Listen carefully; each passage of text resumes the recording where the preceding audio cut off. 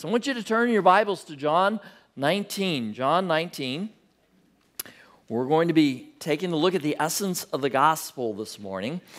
But as you're turning, uh, would you also turn your heart to prepare to hear God's word as we open up in a word of prayer? Our most gracious Heavenly Fathers, we come here today. We, we are well aware that there's probably no more day no, no, no day more full of hindrances and obstacles as the day it comes to hear from you. The day we, we choose to spend with you, to come and worship you. Sundays can be full of all kinds of hitches and struggles and difficulties, but Lord, I just ask you to speak to us. Quiet our hearts. Let us put aside all thoughts and distractions and may we hear the word that you have for us. And Lord, it is my prayer that the words of my heart, the prayers of my heart, and meditations of my heart would be acceptable in your sight, my Lord, my strength, and my Redeemer. For it is in your precious name that I pray. Amen. You know, given where we are in our text, this might sound like an odd title, but, but I want you to consider. You know, we, we have been reading these months now from the Gospel of John. We also know there's three other books, Matthew, Mark, and, and Luke, which are also called the Gospels of. The Gospel of Matthew, Mark, and Luke. You know, it is my calling as a pastor to proclaim, to, to lead and focus upon the gospel of Jesus Christ. And we are to be a gospel centered and focused church. When we speak of sharing our faith, of leading someone to faith in Christ, we speak of sharing the gospel of Jesus Christ. But what is the gospel? You know, the, the meaning of the word gospel is good news or, or good message. But, but what good news? What, it's good news of what? And, uh, and so we appropriately in our church and, and other churches that proclaim the gospel, if you will, we call it the gospel of or the gospel according to Jesus Christ. Now, according to Vine's Expository Dictionary, the word gospel or the gospel of Christ denotes the good tidings of the kingdom of God and of salvation through Christ to be received by faith on the basis of his expiatory or the atoning sacrificial death, his burial, resurrection, and ascension. The essence of the gospel is this is that Christ died, he was buried, that he rose again, and that he ascended to be with the Father. But he didn't just die. The death meant something. It was more than just a death, it was a death that was a substitutionary death. It was a death that covered our sins. Uh, according to Matt Slick uh, of the Center for Apologetics Research Ministries, a long name, they just call it CARM, he wrote this. He said, The gospel is the singularly most important communication of God to man. In Jesus, who is the God the Son, we have the revelation of God's love and sacrifice that saves us from God's righteous judgment upon sinners. Now, in each of the books of Matthew, Mark, Luke, and John, again, they're called the Gospels because the main point, the theme of the writing uh, of their writings was about Jesus, about his saving work for mankind. The point of the Gospels is Christ. You know, I often have fun with, with Gary. Gary is all the time asking you, so, so what are you preaching on? I tell him Jesus. Uh, yeah. And, and, you know, we have a great chuckle, but that is the point of what we do. We talk about Jesus Christ, and that is the point of the Gospels. Now, in your reading of the Gospels, though, you may have noticed that each of the writers spends an incredible amount of time in the last hours of Jesus Christ's life. If you look at it, it's all out of proportion to the rest of what they wrote. I mean, there's entire chapters devoted to the final hours of Jesus' life. Why, why, why is that? You know, I don't know about you, but I, I, would love to have had more information about his teaching. I would love to hear more of, of how he taught, what he taught, what, what he did when he was alongside his disciples. I would like some of the stories fleshed out a little bit. I would love to see more about how he fed 5,000 people. And, and imagine if we had more information about his childhood. By the way, can you imagine playing hide and seek with Jesus? I mean, like, it just wouldn't be any fun. or, you know, like forget Bible trivia. Uh, you know, it, just, it, it wouldn't be any fun at all. But, you know, the point of the thing is, is that God gave us what we need to know who Jesus is. He didn't give us all the history, but He did tell us about His story. And so, why must His final hours be covered in the Gospels? Why did they devote, why did they devote so much attention and time to it? Because, in a manner of speaking, the cross is the point of the entire Bible. What happened in those hours, in his death and his burial and his resurrection, that is the point of Scripture. Everything pointed to that. And they knew that. And God wants us to know that.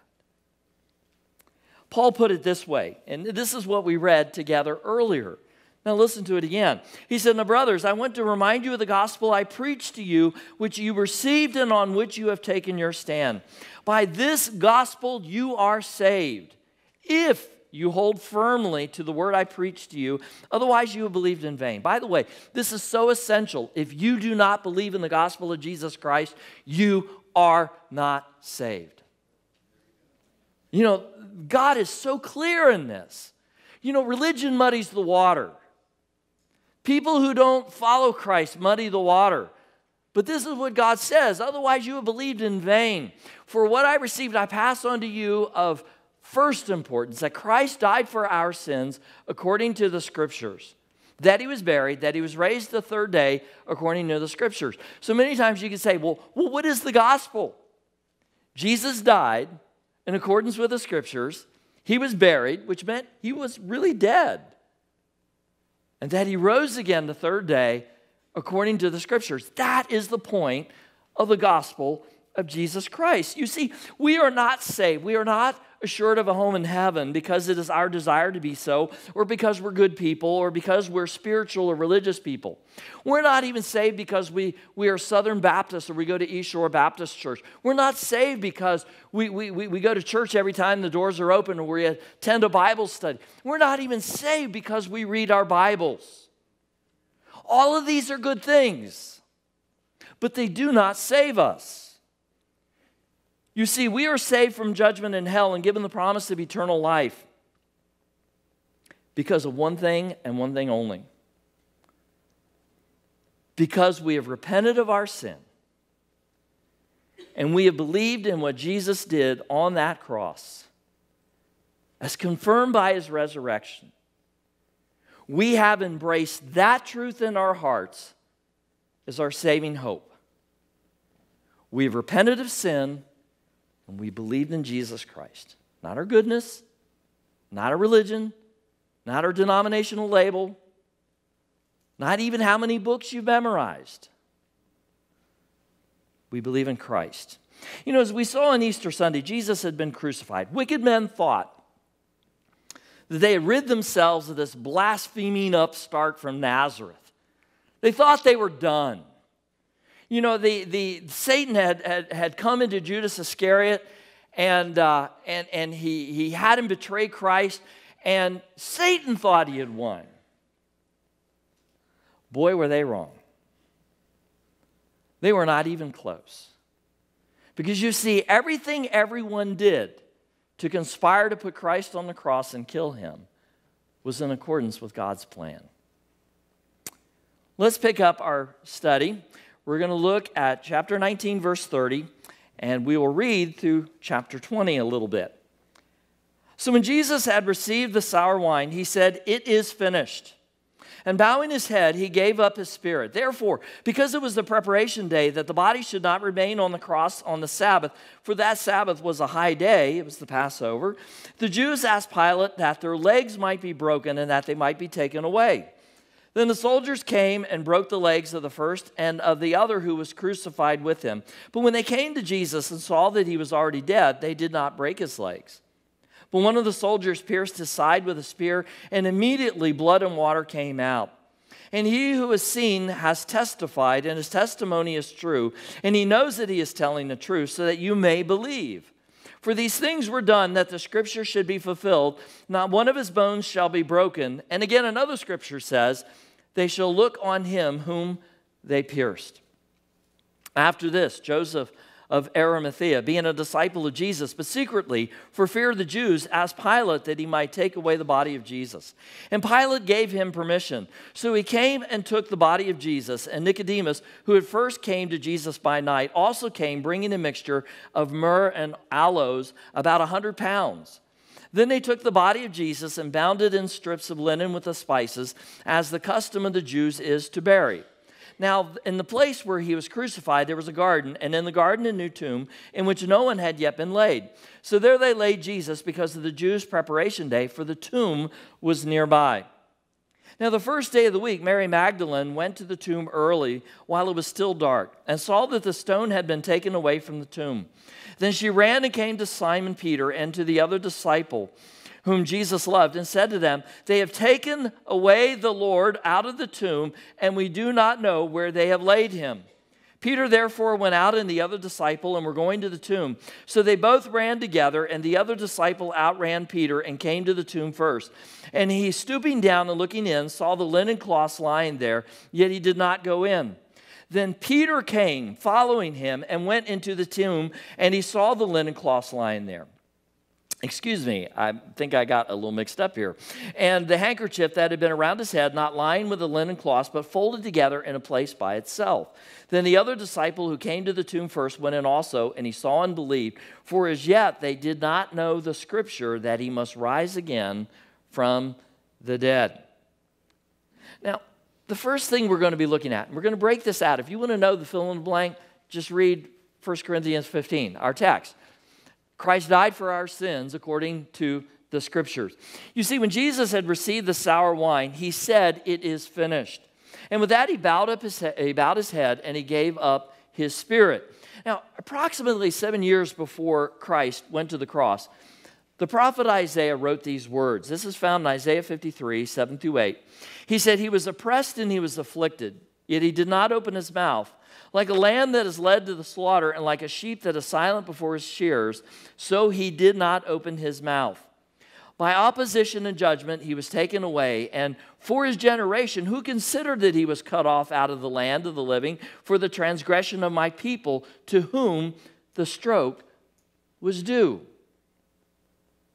What Isaiah is talking about is that the Messiah would go to his death. He would go to his death, but he would go to his death knowing that what he was doing is he was taking the death that was due everyone else. He would not speak so much as he would not oppose what was about to happen. He would not reject it, he did not fight it because it was the Father's plan. But what's also interesting is that while death is typically a most unwelcome occurrence in our lives, particularly when someone we love, someone very near and dear to us, passes away.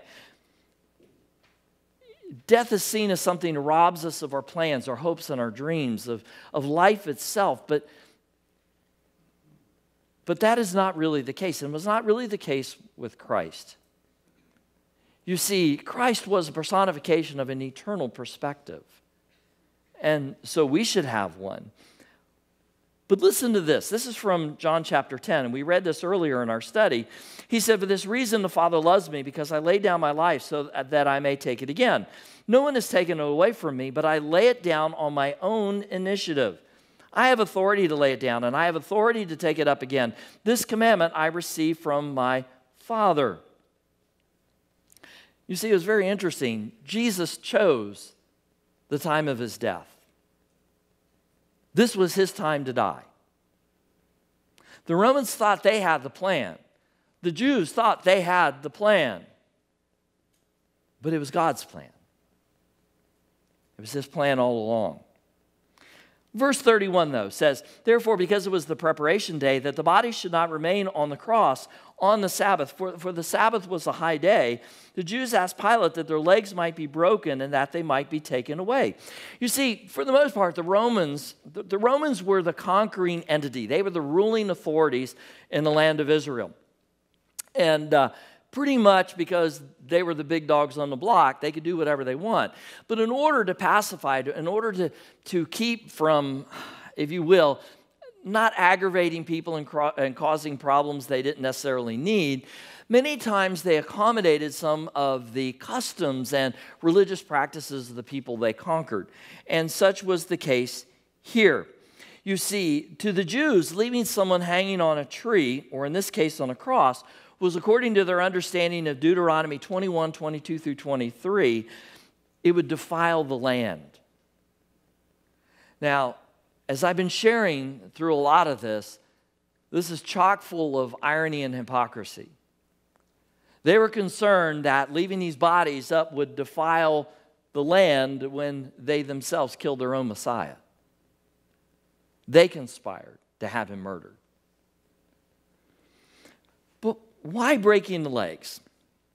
Oh, this is also interesting because you see, most people, Jesus died, his death came much faster than was normal. It, it, it, was common for people who were crucified sometimes to live two and three days. And the Romans were all about torture, they were all about the agony, they were all about the shame and the message. You see, a person hanging on a cross would be, if you will, a deterrent of crime. If you pull this stuff, that's where you're going, Jack.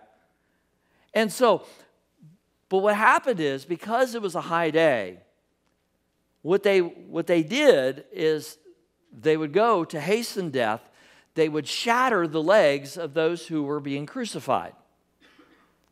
Now, why would they do that? Because you see, when a person is crucified, from what I understand physiologically, is that when they would sink down, many times their lung cavity would enclose to the point where they would literally asphyxiate themselves. So, even though it hurt horribly, the body's defense mechanism, or its, its, will to live, they would lift themselves up in order to breathe. With the legs shattered, shock, pain, and an inability to breathe properly would ultimately hasten the prisoner's death. This was no mercy. But verse 32 Then the soldiers came and broke the legs of the first, and then the other who was crucified with him.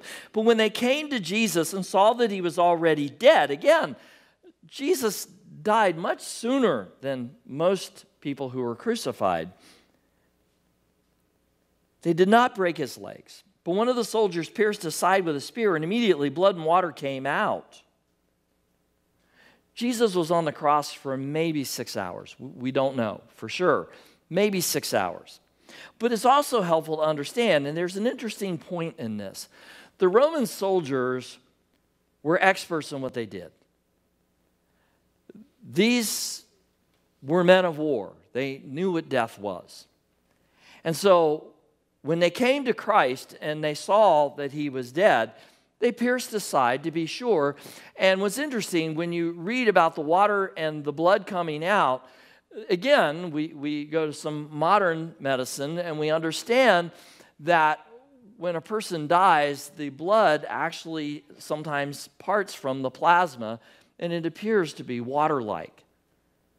Jesus was dead. They knew he was dead. And that's, that's a very important part in the gospel account. There are skeptics, though, and their legion that will say, well, he was unconscious, he was in a coma, he wasn't really dead. That's stupid. It's just stupid.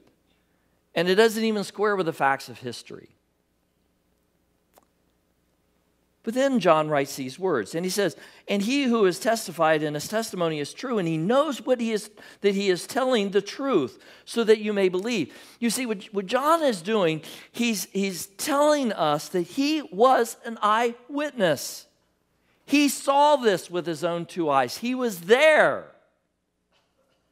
But he's also telling us why he's telling us, that you may believe.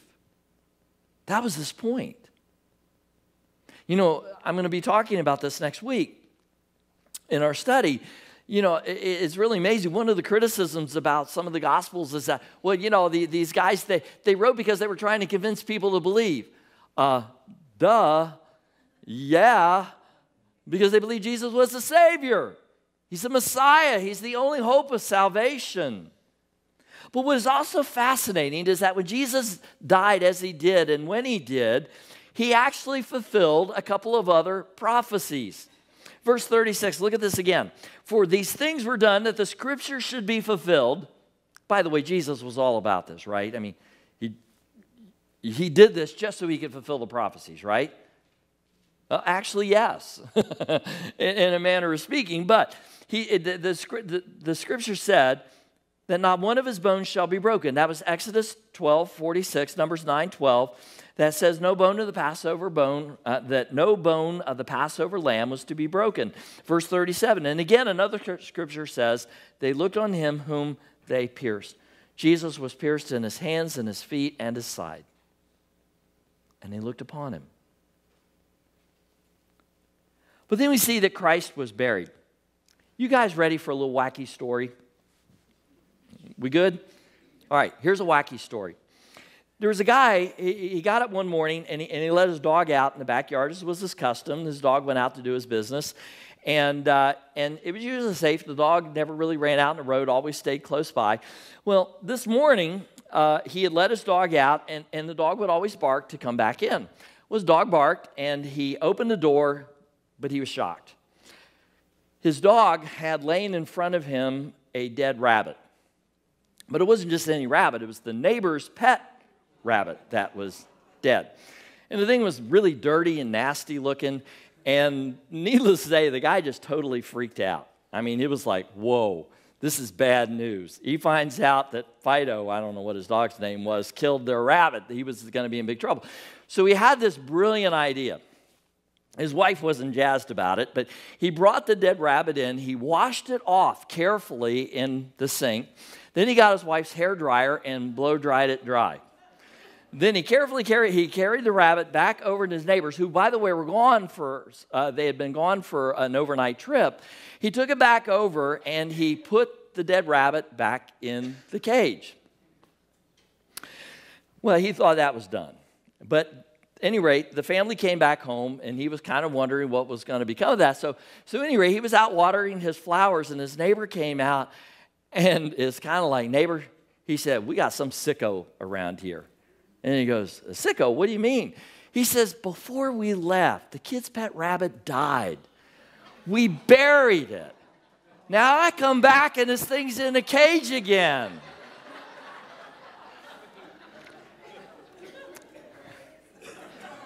well, Jesus died, but he wasn't in the cage again. He wasn't even in the cave. All right, now let's go back to Isaiah. I told you it was wacky, okay? All right, so Isaiah, he said in, in chapter 53, verse 9, his grave was assigned with wicked men, and he was with a rich man in his death, because he had done no violence, nor was there any deceit in his mouth. So let's take a look at this. Let's, let's look at verse 38. After this, Joseph of Arimathea, who, who happened to be a prominent member of the Sanhedrin, being a disciple of Jesus, but secretly for fear of the Jews, asked Pilate that he might take away the body of Jesus, and Pilate gave him permission. Actually, the other gospel writer said that Pilate was actually surprised that Jesus was dead already. That's why he allowed them to hasten the death of the other men. So he came and took the body of Jesus, and Nicodemus, who at first came to Jesus by night, also came, bringing a mixture of myrrh and aloes, about 100 pounds. Now, by the way, this is Nick's third appearance, okay? Nicodemus came the first night, as this passage said, in John chapter 3, and, and he came to Jesus by night, and Jesus told him, he, he was wanting to know who Jesus was, and, and Jesus told him all about how to be saved. It wasn't his question, but it was what he needed. Then later we, we hear that Nicodemus actually defends Christ. He actually speaks up for Christ in the middle of, of a heated Sanhedrin meeting. Now, Nicodemus and Joseph of Arimathea, who was a secret disciple, have asked for the body of Jesus Christ. And what's very interesting about this account, these two men, though they were secret, are secret no more. What they have done is they have just crossed over a line. It was a line you don't cross. They asked for the body of this dead rebel. The Jews hated him. The Romans didn't care.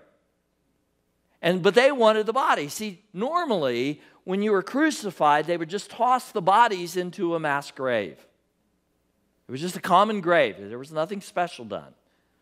But instead, they both step up and they identify themselves bravely. I mean, they, they're putting a bullseye on them. And they're saying they want the body.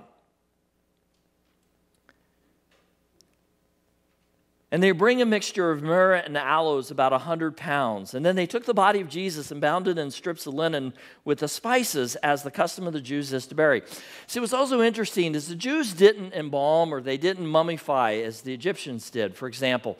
What they did is they would take the body and they would, they would kind of put an underlayment of, of fabric, and then they would pack the body in these spices, their aromatic spices, and they would do this because the body would decompose, and they were trying to mitigate some of the stench of death. And then they would carry the body and lay it in the tomb. Now, the body was very heavy. It was over 100 pounds above what Christ's weight was. And, and, but hang on, because there's a point to this. Now, the, in the place where he was crucified, there was a garden, and in the garden, a new tomb in which no one had been laid. Matthew stated it was actually Joseph's own tomb. So there they laid Jesus because of the Jews' preparation day for the tomb was nearby. Now, once again, we see the sovereignty of God in, in action. Though Joseph and Nicodemus were in a hurry because the Sabbath was about to take place, the Sabbath always occurred at sundown. So they were trying to hurry up because once the Sabbath took place, they couldn't do anything. They weren't allowed to bury bodies. They weren't allowed to do what they were doing. So they were, they were kind of in a hurry. They, they, were, they were trying to hustle and get this thing done. But there was another prophecy to be fulfilled that God was sovereignly in charge of. Listen to this. This is from Matthew 12 40, and these were the words of Jesus Christ. For as Jonah was three days and three nights in the belly of the great fish, so will the Son of Man be three days and three nights in the heart of the earth. Now, this is a fascinating prophecy, but it's also a great source of contention because you got the, the pseudo scholars going, aha, this is a contradiction. Come on, man. Jesus was buried Sunday afternoon. He was in the grave Saturday, and he got up Sunday morning. It's, it doesn't work, it doesn't compute. Well, it does compute because you got to understand the cultures. You see, the scriptures are written in a first century culture, and John was a Jew. And so, what they're doing is they're doing the Jewish reckoning of time. You see, to the Jew, any part of a day was a day.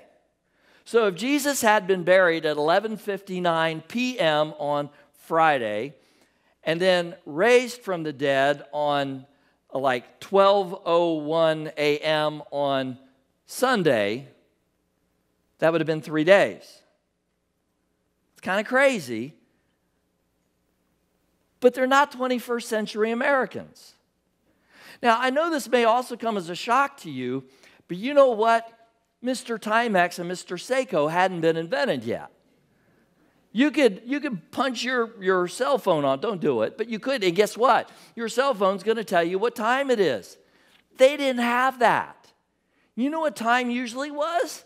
An educated guess. They would look at the sun, if the sun was not hidden, and they could roughly tell about what time of the day it was. Now, they were very smart people. They had things like sundials. Problem was, they hadn't quite figured out how to put a sundial on a wrist, okay? They were a little heavy. So, so they reckoned time as best as they could. So be a little, be a little easy on these folks. They didn't reckon time like we did. But now we get to the good part. Christ was raised on the third day according to the scripture. So let, us turn back to the Old Testament again and we're going to look at Psalm 16:10. David wrote, For you will not leave my soul in Sheol or the grave, nor will you allow your Holy One to see corruption. You see, Peter connected Jesus Christ to these words of David in his message on the day of Pentecost, as recorded in Acts 2:25. So did Paul in Acts 13 35. In other words, they knew the Word of God and they said, that's what happened to Jesus. That's a Jesus passage, that's a Messiah passage. Verse 1 of chapter 20. Now, the first day of the week, Mary Magdalene, and we'll hear more about her next week, but Mary Magdalene went to the tomb early while it was still dark and saw that the stone had been taken away from the tomb. Then she ran and came to Simon Peter and to the other disciple whom Jesus loved and said to them, They have taken away the Lord out of the tomb, and we do not know where they have laid him.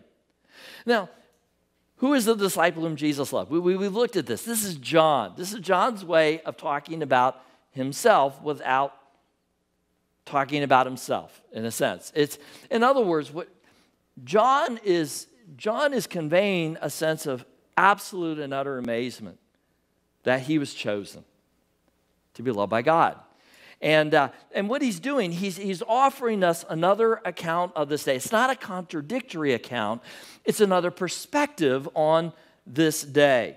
Remember, he's an eyewitness, he was there.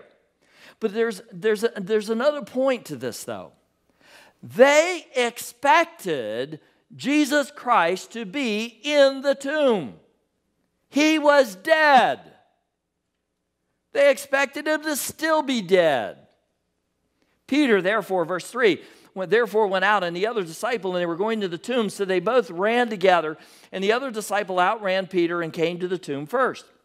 And he, stooping down, looking in, saw the linen cloths lying there, yet he did not go in. Then Simon Peter came following him and went into the tomb, and he saw the linen cloths lying there, and the handkerchief that had been around his head, not lying with the linen cloths, but folded together in a place by itself. Now, what's this all about? Again, this is an eyewitness account. Peter and John were there, they were on the scene. They went into the tomb and they saw what was in the tomb.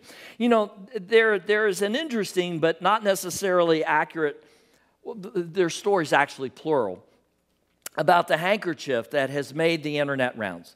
Now, I realize many of you think because it's on the internet, it's got to be true, but it's not necessarily, okay?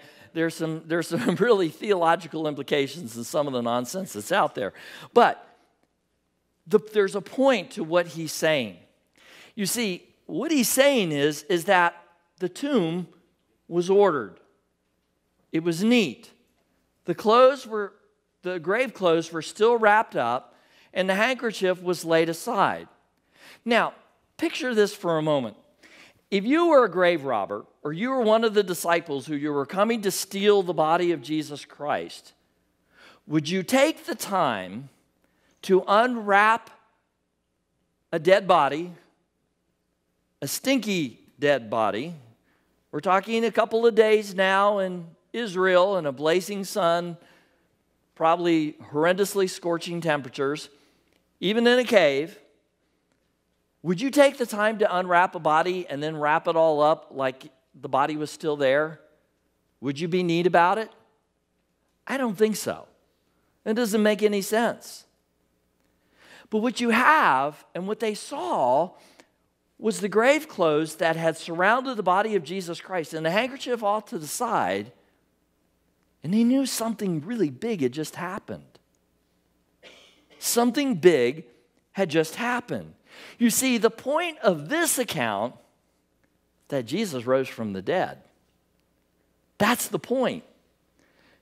By the way, just as the scripture said. Well, verse 8, then the other disciple who came to the tomb first went and also, and he saw and believed.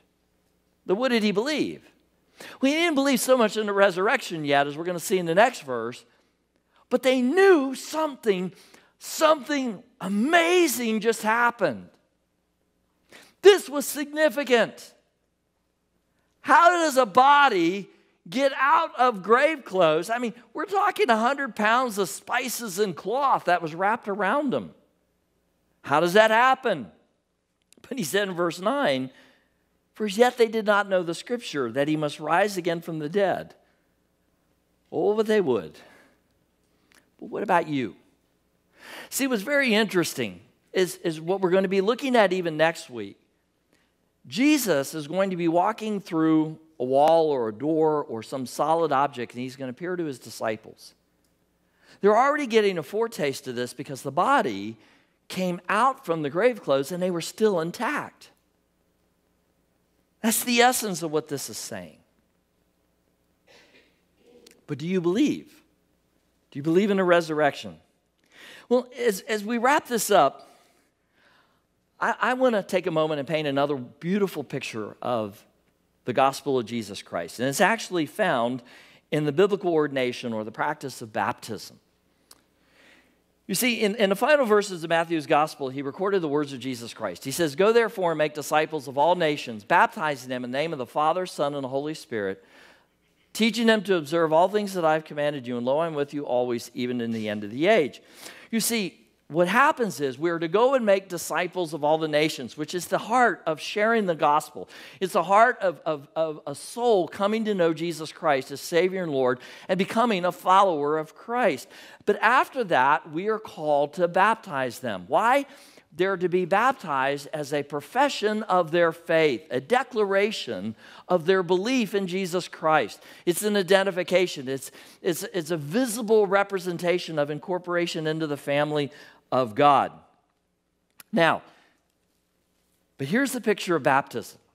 You see, when a person goes into the baptismal waters and they're standing, it is a picture of Christ on the cross who is about to die for sin. Now, what's happening, they're standing there and they're identifying with Jesus Christ. Now, some hesitate. They hesitate because they're embarrassed. They hesitate because maybe they're a little bit ashamed. Well, can I suggest something? When Jesus Christ was on the cross, do you think maybe that was a little bit embarrassing or a little bit shameful? But he did it for us. He did it for us. You see, and then when a person is put below the waters, they're put beneath the waters, they're dipped down. That is a picture of the death of Christ. That is a picture of the burial. And we identify with Christ in his crucifixion, we identify with Christ with his burial. But then when we come back up out of the waters, we arise to the newness of life. And so here's the scripture this is what Paul wrote in Romans chapter 6, alluding to this beautiful picture of the gospel. We were therefore buried with him through baptism into death, in order that just as Christ was raised from the dead through the glory of the Father, we too may live a new life. We arise to the newness of life. Behold, all things have become new, all things have passed away. We are new creatures. Sin no longer has its death grip on us. And people wonder why. We believe so firmly in baptism by immersion. It's because it's biblical. It's because it's a picture of the very gospel we proclaim. And I and sadly, and, and by the way, I, I, I fellowship I've had fellowship with people that believe in infant baptism and other things. But what happens is they have, they have removed a critical element of the picture of the gospel in their proclamation of, of, of the Bible. We don't, and we won't. It is what identifies us as God's people here at this church. But are you a Christian? Do you believe in the gospel of Jesus Christ? Well, I want you to listen to something uh, a man named Dr. B.B. Warfield wrote. He, he is considered to be the last great theologian of Princeton University. He wrote these words A dozen ignorant peasants proclaiming a crucified Jew as the founder of a new faith, bearing as the symbol of their worship an instrument which was the sign of ignominy, slavery, and crime preaching what must have seemed an absurd doctrine of humility, patient suffering, and love to enemies, grace undreamed of before, demanding what must have seemed an absurd worship for one who had died like a malefactor and a slave, and making what must have seemed an absurd promise of everlasting life for one who had himself died, and that between two thieves. That is our faith. That is our faith. And that is what we believe. And it's precisely what happened. Again, here's what Paul wrote. Now, brothers, I want to remind you of the gospel I preached to you, which you received and on which you take your stand. We take our stand on this. By this gospel you are saved if you hold firmly to the word I preached to you.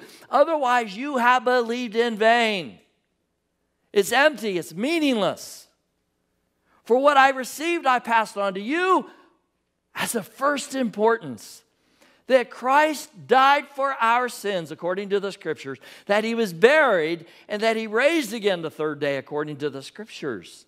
That is the gospel. Jesus Christ is the way, the truth, and the life, and no man comes unto the Father but by him.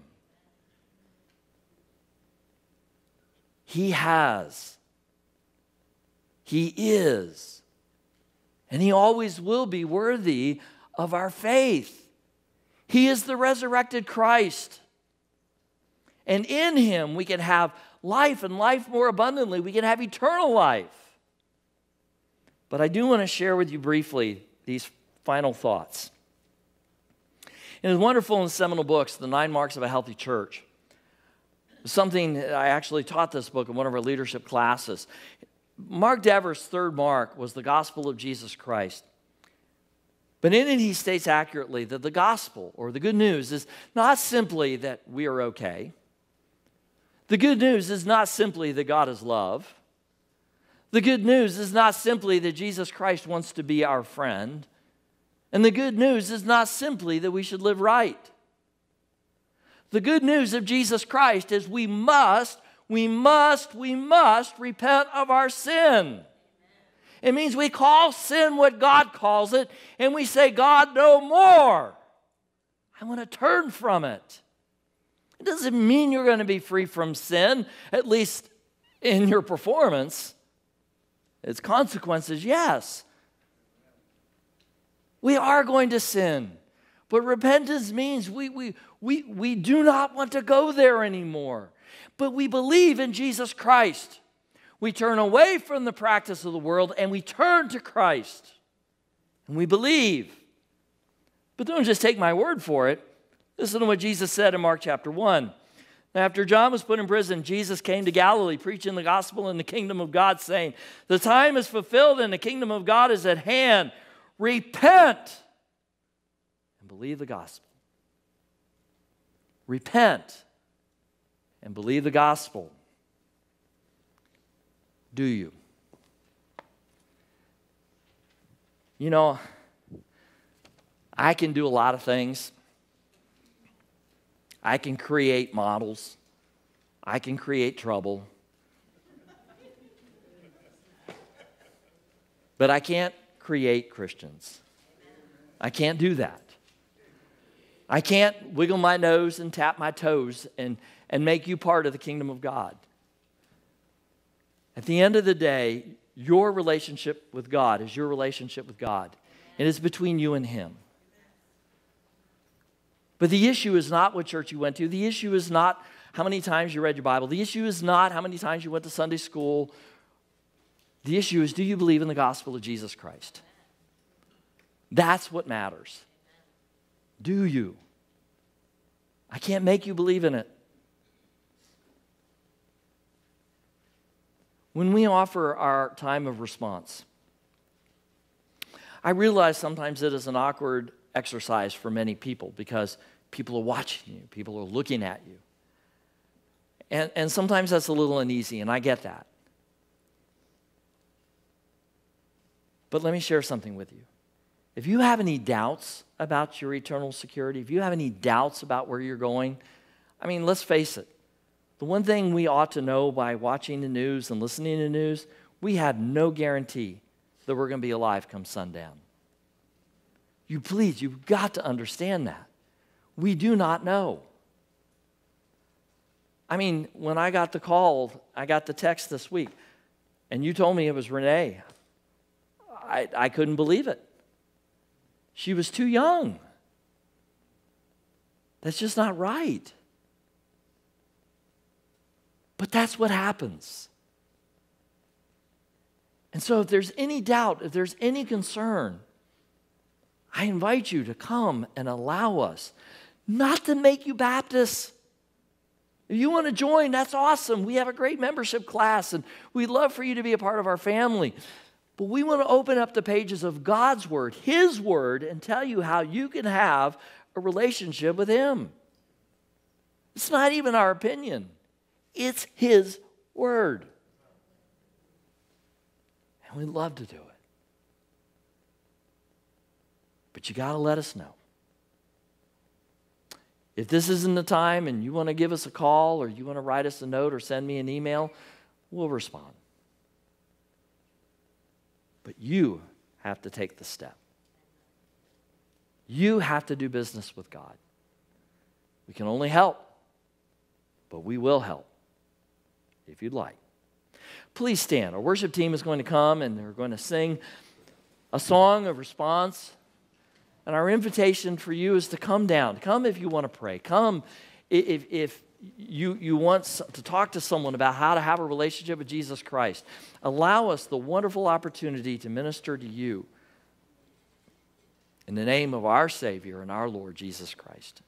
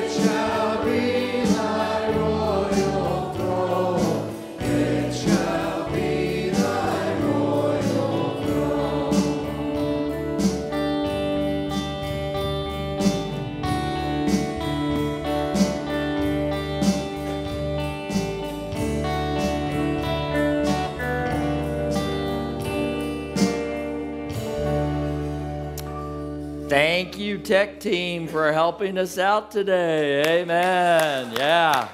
Woo. I appreciate that. I really appreciate the eight. Pre, I can't even say it. Appreciate them for laying hands on it because if I did, it probably wouldn't be working. anyway, also, I'm really curious to hear what my wife has to say about what God led her to pray about. She was in a back room praying during our service, and uh, I have no doubt that she probably sensed something was amiss. And so I think Gene probably helped us today. Amen. All right. God love you guys. Have a great day. Enjoy this wonderful weather. If you're suffering like me with allergies, this too shall pass, and we'll be on the other side of it. Remember, better living through chemicals. And uh, yeah, I hate it. But any rate, all right. Sorry, Jay. It's okay, man. I'm all good. It's the medicine. Trust me, it's the medicine. All right. You all have a wonderful day. Let's close in a word of prayer. Heavenly Father, God, it's so good to be able to laugh and chuckle. And this is a this is, it really is a beautiful time of the year where we see the flowers budding on the trees and grass is starting to grow. But and yet for some of us it is a tough time. We we have our season of allergies and but Lord, nevertheless, we still have such abundant things to pray about, to, to be blessed with you know, we can praise you all the day long for how good you are and what you did for us on the cross of Calvary. So, Lord, as you have abundantly blessed us, may we in turn take that beautiful, wonderful, incredible gospel of Jesus Christ and share it with those around us, that they too may have the hope that we have within our own hearts. In Jesus' name we pray. Amen.